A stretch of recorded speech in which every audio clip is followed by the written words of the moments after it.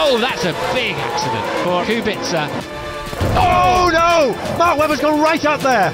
They're going to stop the race, no doubt about that at all.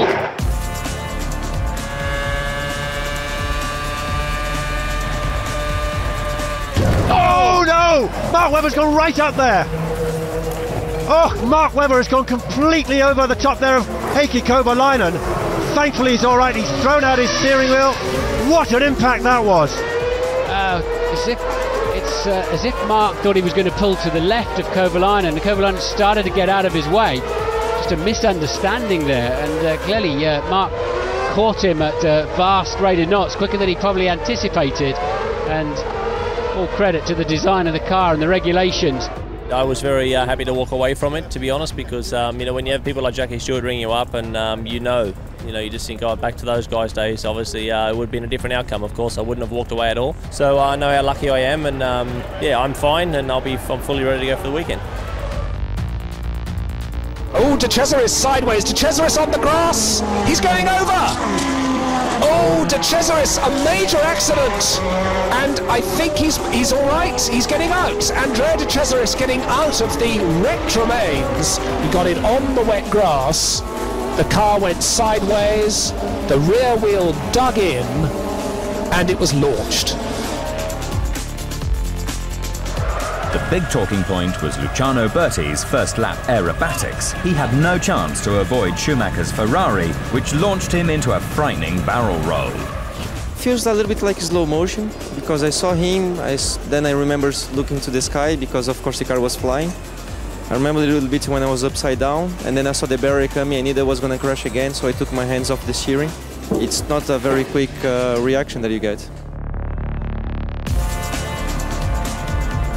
Oh, something's oh, off. Oh, that's a big crash as well. And that's the Sauber of Marcus Ericsson.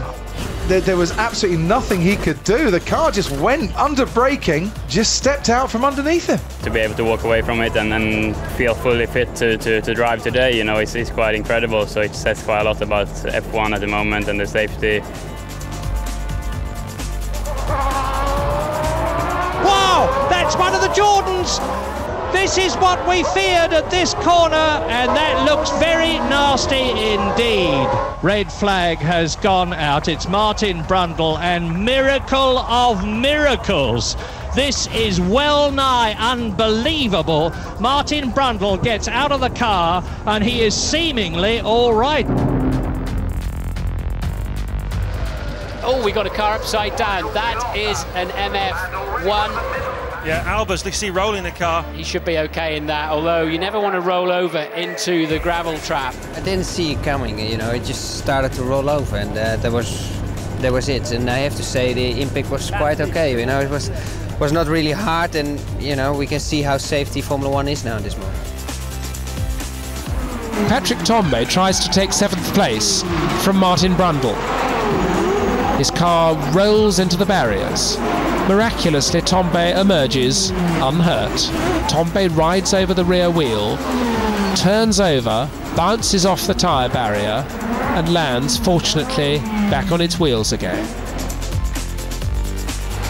And there's locking up in a crash, and Fernando Alonso goes over the top there of Charles Leclerc's Sauber. Also involved Nico Hulkenberg in the Renault. It was an innocent bystander in that uh, was Fernando Alonso. He gets a thump now and uh, spun around and cleared look at this mess that's made of the side of that McLaren. What we're about to see is Hulkenberg get too deep on the brakes, locked up, and boom. Wow, just could not stop in time. I think on the positive side, we are all fine, uh, especially Charles, that I flew over uh, his car. And uh, yeah, the halo today was a, a very good thing to, to have.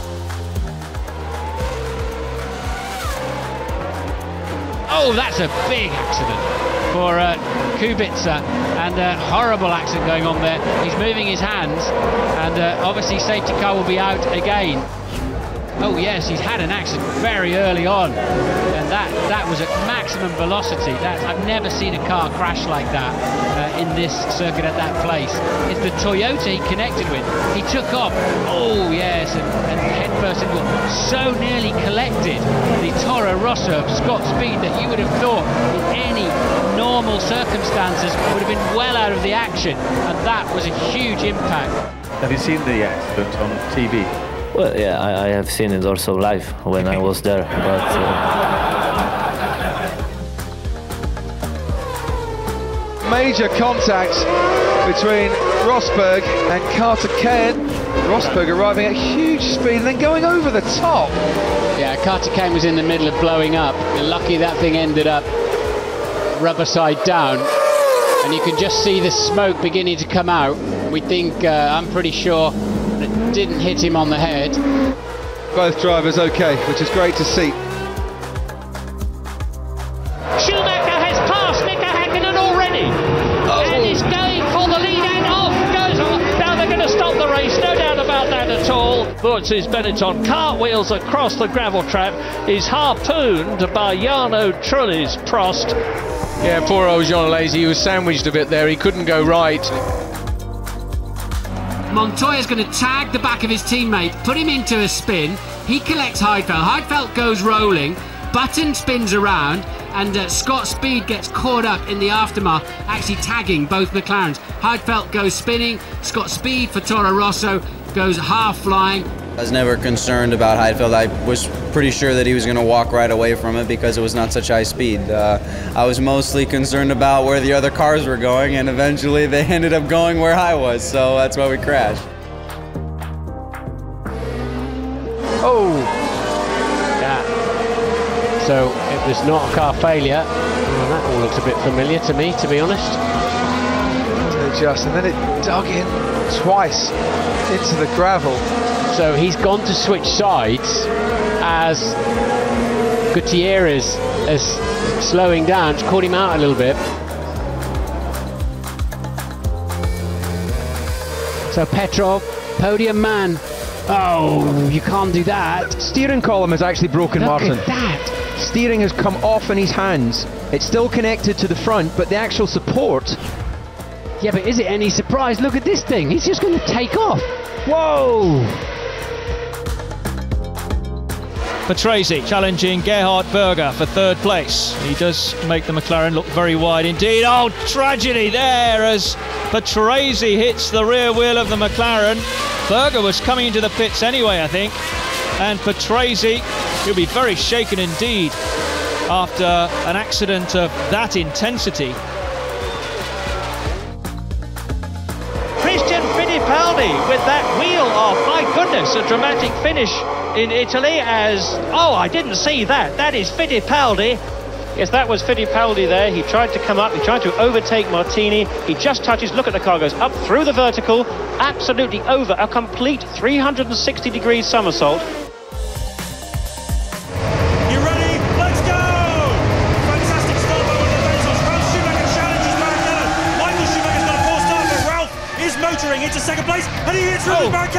Huge accident!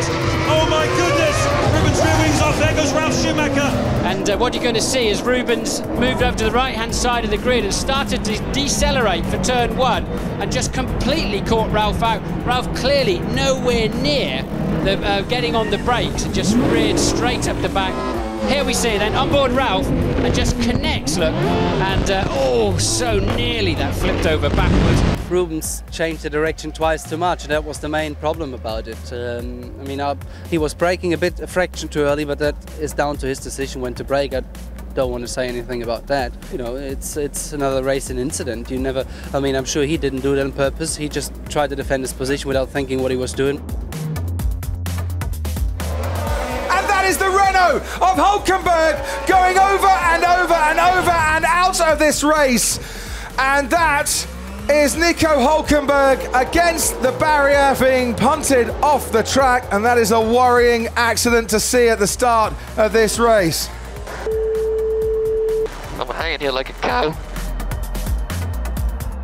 Damon Hill had a scary moment in practice for the Portuguese Grand Prix when an out of control Eddie Irvine sent him flying. The Jordan was running in front when he got a wheel on the grass, losing his car and spinning into the path of the unfortunate Brit. A bizarre incident, but fortunately, both drivers were unharmed.